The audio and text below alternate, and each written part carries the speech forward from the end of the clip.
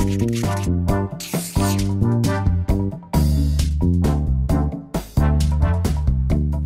came up in the Chicago comedy scene, and my first sort of job, promotional guy for Old Style Light.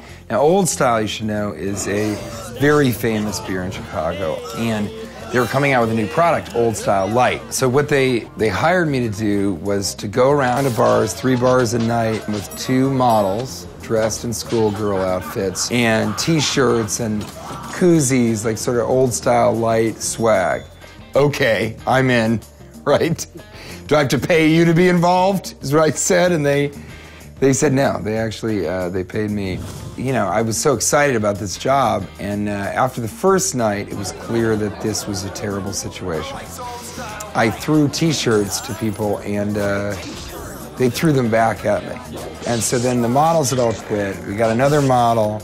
She quit literally on the third day. So then they said well, now you just have to do it on your own. And I said, okay, because I really needed money. The first time the old style clients came to see me do this live and in action, uh, it was at a dive bar. So the only thing I have that is really separating me from the patrons of the bar and being a comedian uh, was the microphone and the speaker, and that failed.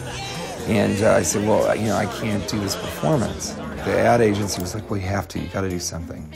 I said, well, what do you want me to do? And they said, just stand on a stool and yell. And uh, that's what I did.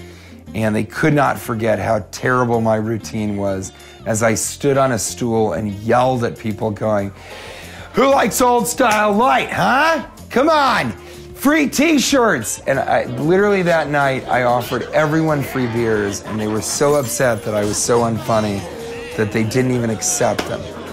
So I drank the $50 tab uh, myself and uh, I sheepishly left with the stool. At the end of that run, I, they asked to do another run because it had been so successful. I was mortified and embarrassed publicly in almost all the bars in Chicago. And I said, You'd have to pay me twice as much as you're already paying me for me to ever consider. And they went, okay. And I, uh, I didn't know what to do. I, I should have asked for like $500 a night, but I, so I had to do it.